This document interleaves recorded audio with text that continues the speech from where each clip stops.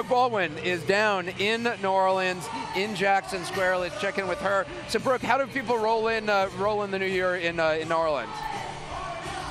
You know, uh, little king cake, muffuletta tonight for dinner, um, some music is the soul of the city. I can't, I can't help but you know move and groove, move and groove as we are counting down to the fleur-de-lis drop here in New Orleans.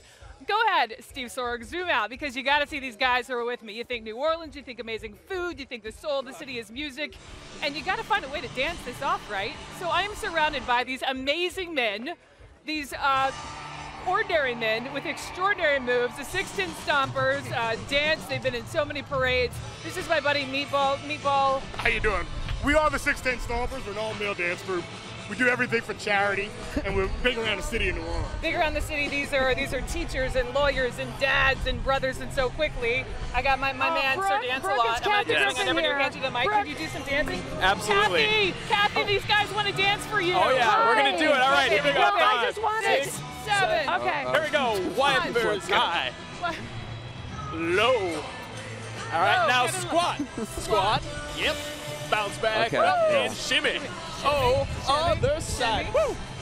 Boom. And they What's said up, we Anderson couldn't and fill three and a half hours. No, and what's great And is, clap. uh, Brooke, I'd like you to ask those Yeah. guys how they feel about Anderson being a big fan of the New Orleans Yeah. Hornets, the New Orleans Hornets Are basketball you team. jealous? No, by the way, New Orleans says hello. They will kick your butt. You would not last By the way, with those uh, guys. Brooke, thank you very much. Appreciate it. By the way, the Go New Orleans Hornets. Hornets changed their name just last year. Hashtag Anderson hates. Pelicans. I, I don't get it.